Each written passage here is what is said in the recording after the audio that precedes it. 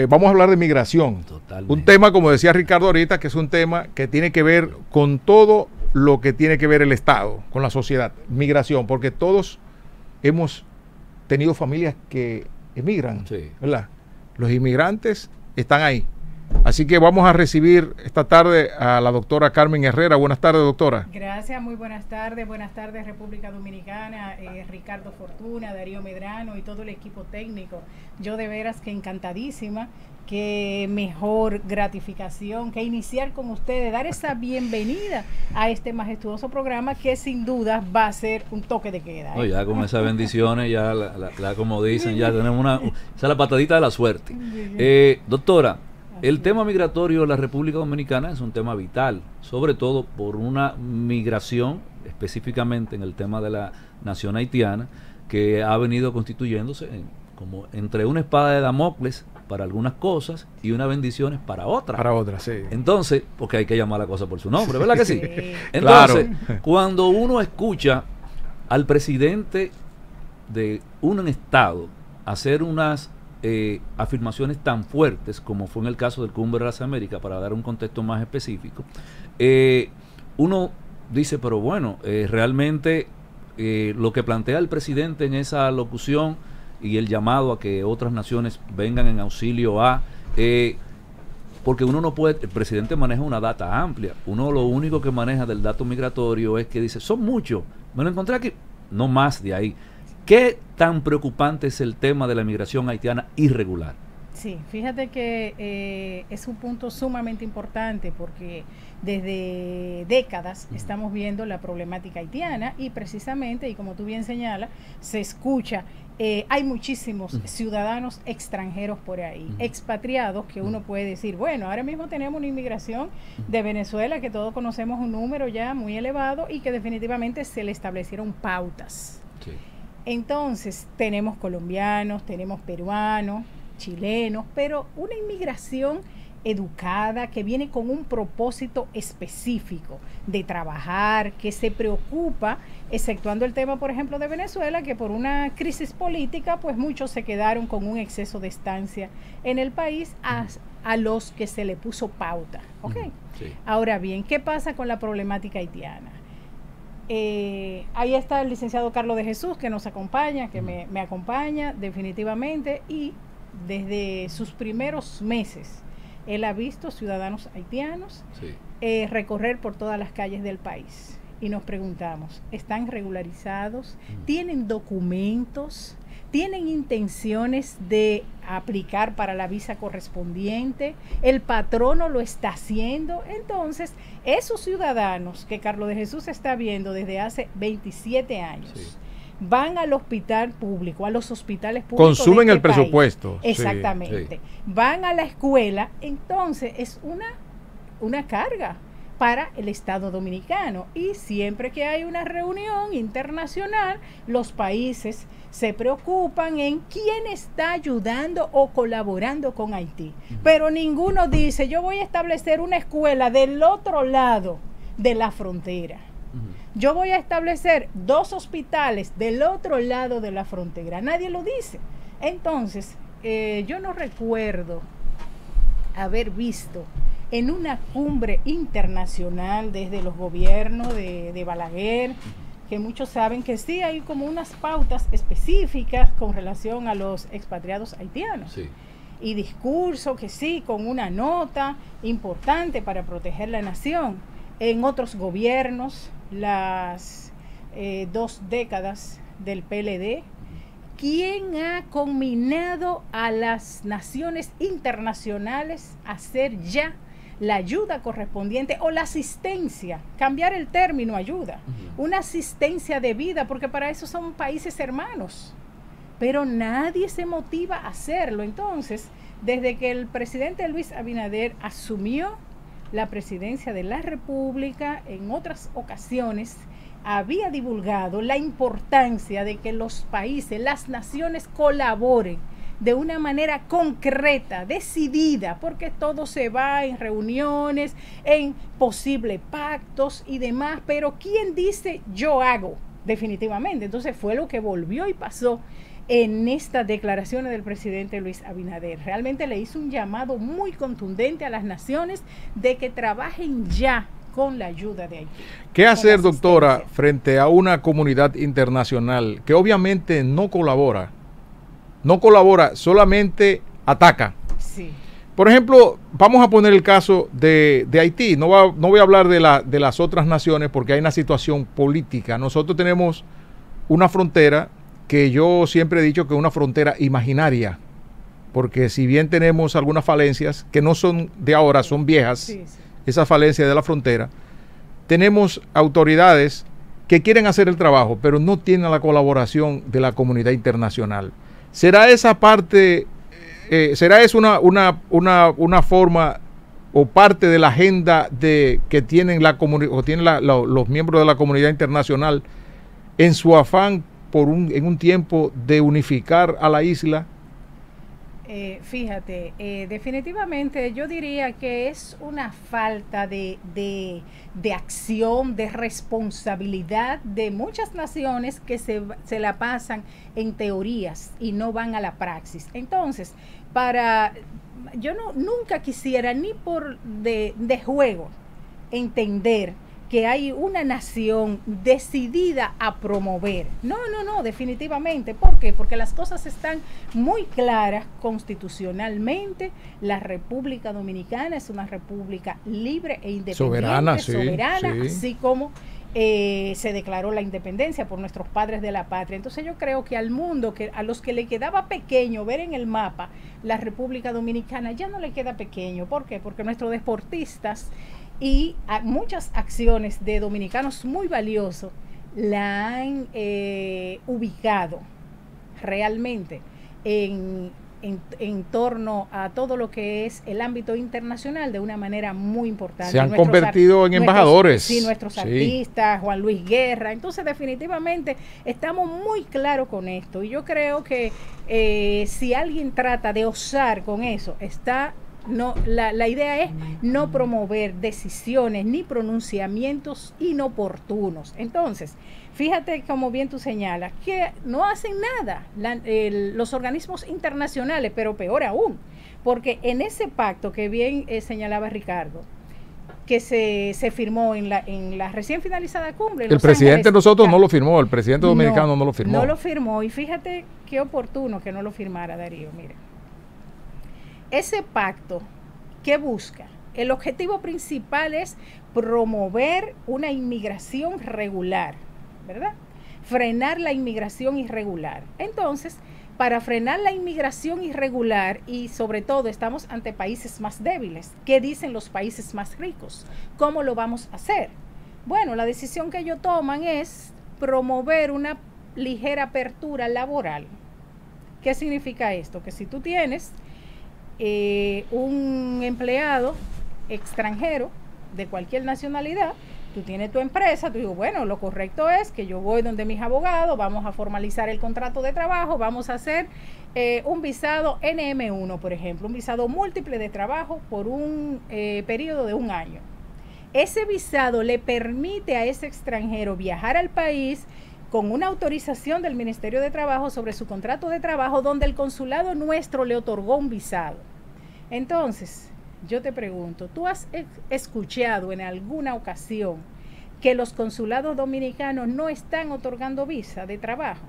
No, siempre lo han, la han estado otorgando, las visas de trabajo están abiertas, no tenemos una cuota establecida ni creo que es necesario por el momento. El que califica bajo un expediente de aplicación para cualquier visa de trabajo, va y lo deposita en Canadá, en España, en uno de los consulados de Haití, eh, en Perú, donde quiera, y si califica, le otorgan el visado. A mí me gustaría, eh, doctora, que podamos eh, compartir y que usted luego, a solicitud nuestra, nos responda una inquietud la participación puntual del presidente de la República en el tema del Cumbre de las Américas. A mí me gustaría ya, como abogada, preguntarle una, la parte técnica que, quizás ese fragmento del presidente trató de traducir y que muchos nos quedamos con el tema del pacto, que volvamos ahí y hagamos un ejercicio que con el, la expertise suyo nos puede dar un poquito de luz. Perdón, yo creo que también quisieron sorprender en su buena fe al presidente. Por eso, sí. Bueno, perdón, Pero el presidente decía- salió más inteligente que ellos. Tenemos Sí. el corte por aquí eh, para poder hacer uso de- Firme ahí. Sí. El presidente dijo, no, yo no voy a firmar eso ahora. Sí. Y yo creo que lo hizo Ahí- muy bien en no firmar. Si podemos tener en estudio el, el audio. deber de pronunciarme como en anteriores ocasiones sobre la imperiosa necesidad de que la comunidad internacional y en particular los países de las Américas actúen sin demora ante la dramática situación por la que atraviesa Haití. Claro. Haití, que históricamente ha pagado muy caro sus deudas con países desarrollados, grita, clama por una acción coordinada que pacifique ese país. Es para mí nuestro gobierno injustificable que esta comunidad de naciones permita que un Estado en el medio del continente americano tenga gran parte de su territorio controlado por bandas criminales. El pueblo haitiano está sufriendo las consecuencias de la inestabilidad y la inseguridad que han generado estas pandillas y que obliga a sus ciudadanos a buscar otras alternativas para sobrevivir, aumentando de forma significativa la presión migratoria, principalmente sobre República Dominicana y en menor medida también con otros países de la región. República Dominicana no puede cargar solo con los problemas de Haití. De hecho, ya está haciendo demasiado, mucho más de lo que puede. La situación del vecino país ha desbordado los límites de un problema migratorio. Es para los dominicanos un tema de seguridad nacional, por lo que haremos lo necesario, como haría todo país soberano, ante una amenaza similar para asegurar adecuadamente nuestra frontera. Le compete a la comunidad internacional asumir definitivamente un mayor compromiso con el pueblo haitiano con una mayor implicación y de manera urgente trabajar por su pacificación y recuperación definitiva. Puedo decir con seguridad y orgullo que en menos de dos años nuestro gobierno ha hecho avances considerables. Hoy no hay impunidad en la República Dominicana. Ya- Hemos ya nombrado un ministerio otro público- tema ahí, vamos a ver. a- sí, gracias. Eh, en ese fragmento del discurso, que tal como usted magistralmente expuso algunas razones, ¿verdad?, de orden legal en el tema migratorio, para lo que el presidente decía, el tema de, de que ha cargado la República Dominicana más que cualquier otro. Con el tema del pacto, de esa no firma del pacto, el presidente eh, eh, esgrimió el tema de que fue un pacto que le entregaron, como dijo Darío, con muy poco tiempo. Eh. Quizás lo quisieron sorprender. Gato, en gato entre. Macuto. Gato entre Macuto. Sí, sí, firme ahí. ¿Cómo que firme ahí? Y luego entonces nosotros hemos visto la visita del presidente del capítulo del tema de la Asamblea de la Organización de Naciones Unidas. ¿Tiene alguna relación una cosa con la otra? Tendría, posible. Perdón, ¿tendría, ¿Tendría al- alguna relación?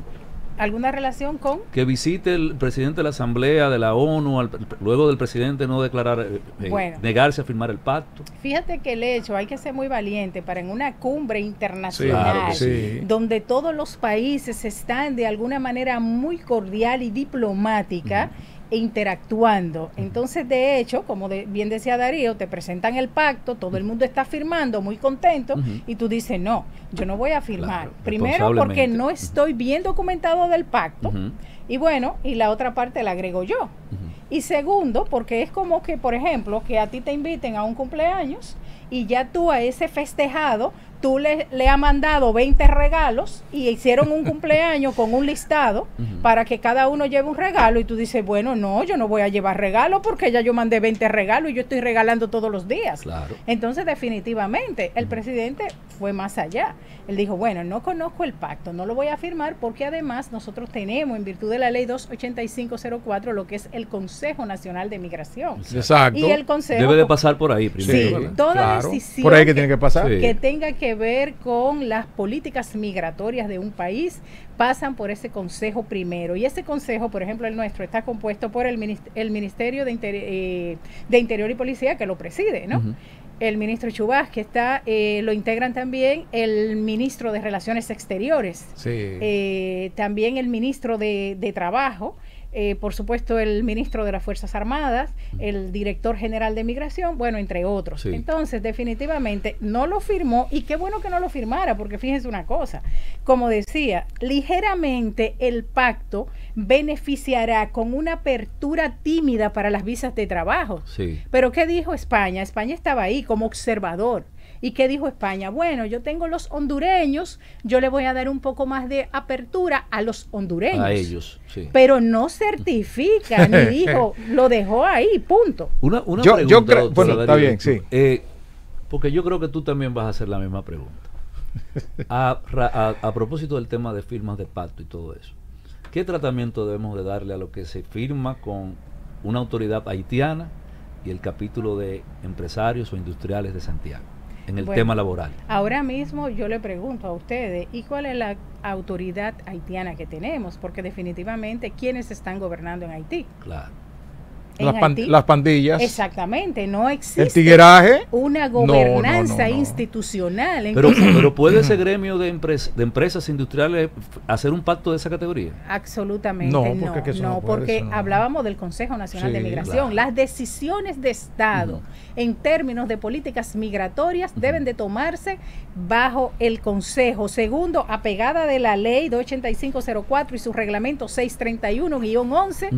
y la ley general de visado, por supuesto, 875. O sea, nosotros tenemos un compendio de leyes que nos dan las pautas.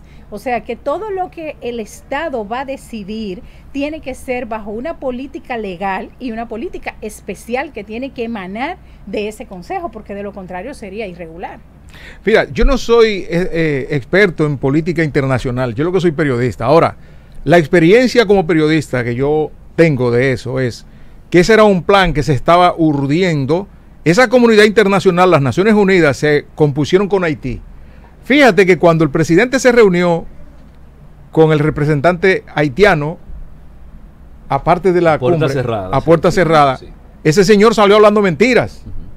¿sabe? Con un irrespeto a la República Dominicana, con un irrespeto al presidente dominicano, de que acordaron esto y esto sobre la migración, un plan de regularización, cuando en realidad no fue así. Claro. Que el presidente tuvo inmediatamente que desmentirlo y decir, no, no, nosotros no quedamos en eso, eso no es verdad, porque ellos quieren eso.